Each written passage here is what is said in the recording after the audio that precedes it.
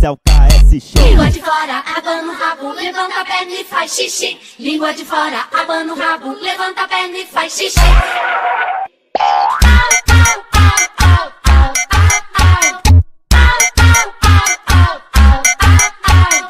O cachorro late quando faz au.